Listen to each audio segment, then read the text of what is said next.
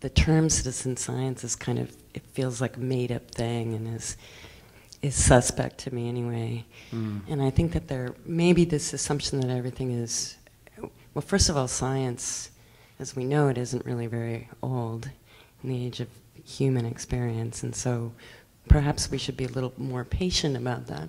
Um, but also, I think there's great reason to be optimistic about people doing things. It's just not happening maybe where you expect it. There's, I know there's a um, biologist working up in Oregon or Washington, and she's working in in prisons with prisoners to do mycology and observations and investigations because these gentlemen have to spend a great deal of time in isolation or in in this incarcerated condition and uh, and so they, they make great observers of Michael, of mushroom, of fungi change.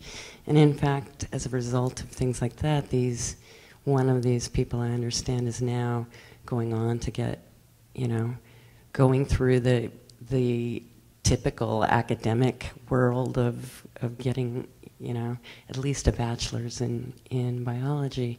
There's another group of people who are, uh, I think, recording certain kinds of the change in the biological climate change in, in uh, a rare plant up in the Oregon forest, and that's because there are people that usually hunt them or, or collect them to, uh, to sell illegally, but certain biologists know that they have a very specific and strong knowledge. And so now there are these kinds of collaborations. Yeah. And they're beginning to ask questions now. Right. I mean, that's, Yeah. it's, it's got to go from sort of scientists deciding what the important question is and this sort of idea that I heard of trickle down to something more osmotic, maybe.